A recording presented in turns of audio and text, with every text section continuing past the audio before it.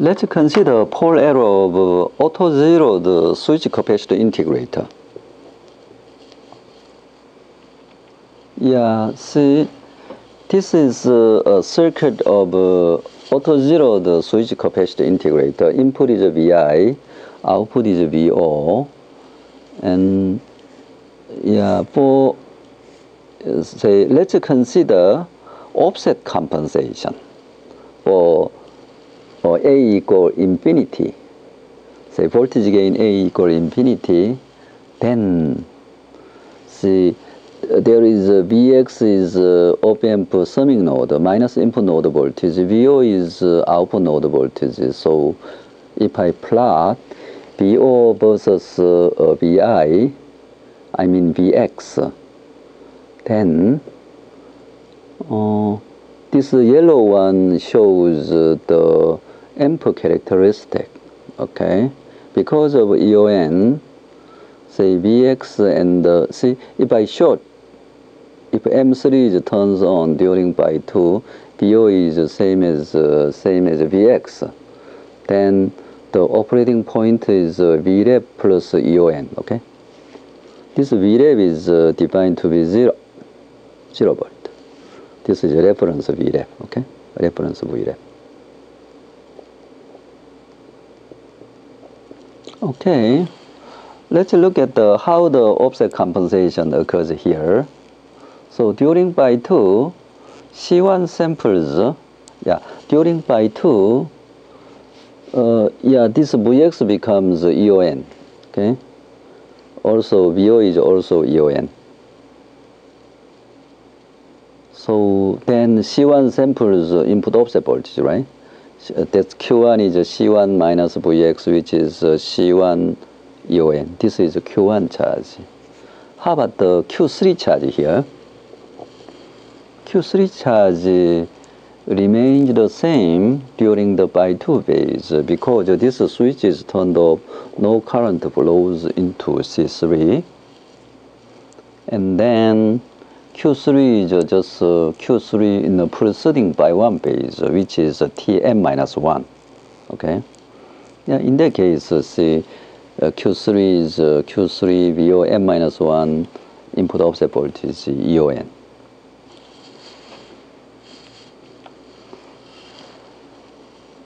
Yeah, how about the, uh, what happens during by 1? Yeah, during by 1 phase, uh, this switch is uh, C1 samples uh, input voltage Vi, and this feedback switch is on, this switch, M3 switch is off. So, because of feedback through C, C2, this Vx is, uh, uh, this is VON, okay? This Vx node voltage is uh, just VON divided by A. Yeah, then what's Q1? Q1 is uh, C1 times uh, Vi minus uh, EON. Oops, it is true. Oh yeah, this is A equal infinite. Oh, sorry. So this EON is zero. Okay. I assume uh, A is still A is infinite. A equal infinite. So it should be zero. This, this should be EON, okay? Because uh, this voltage should be zero because of negative feedback through C3 and A equal infinite. There must be virtual ground. So my Q1 is C1 VIN minus EON. How about the Q3? Yeah, VON minus EON. Okay?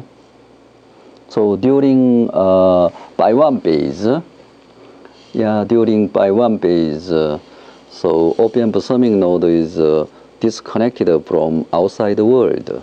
So the total sum at the Vx node must remain the same. So Q1 plus Q3 remains the same during the by one phase. So Q1 plus Q2 at the start of by 1 is equal to Q1 plus Q3 at the end of by 1. Okay? At the start of by 1, uh, the charge must be same as uh, at the end of proceeding by 2. Okay? So that, that this term is uh, Q1 plus Q3 uh, at the end of proceeding by 2. This term is uh, Q1 plus Q3 at the end of by 1.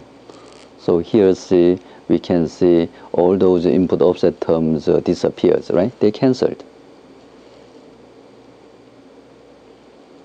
So this output voltage does not contain any offset term. VON is VON minus 1. So my pole is perfect, okay? I have a perfect pole, G equal 1. That's for A equal infinite. How about the finite A? If amp gain A is finite, what happens? Okay? So during by 2 phase, yeah, during by 2 phase, see, this VREF is 0, actually. This, those are VREFs, eh? defined to be 0. Yeah, see, uh, the yellow one is uh, amp characteristic. This is amp characteristic of VO versus Vx. This is Vx. Yeah, during by 2 phase, Vx equal VO because of this one, right? So there is no DC path. Voltage drop across M3 must be 0 volt. So Vx must be same as VO. Then Vx and VO are 0, okay? During by 2 phase. So Q1 is 0 because Q1 is connected like that. Vx is 0. How about the Q3? Q3 keeps the preceding VOM minus 1 times 1 plus A. Yeah, proceeding by 1. This Vx becomes uh, uh, minus VOM minus 1 over A. Okay. Ha, let's go to the by 1 base. Yeah, by 1 base, see Q1 samples input voltage Vi and then here my Vx is uh, uh, same as uh, minus 1 over A times VON. Okay? My VO is VON at the end of by 1 bits. Yeah, so Q1 is C1 Vi minus Vx. So I got this equation. How about the Q3?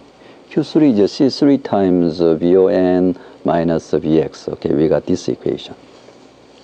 So similarly, uh, during by 1, op-amp summing node does not have any DC path. This cassette does not have any DC path to outside the world.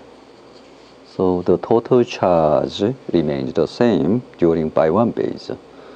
So we, uh, this is uh, uh, Q1 plus Q3 at the end of proceeding by 2 base which is the same as Q1 plus Q3 at the start of by 1 base. Now this, this, this was Q1, Q3 at the end of by 1 base.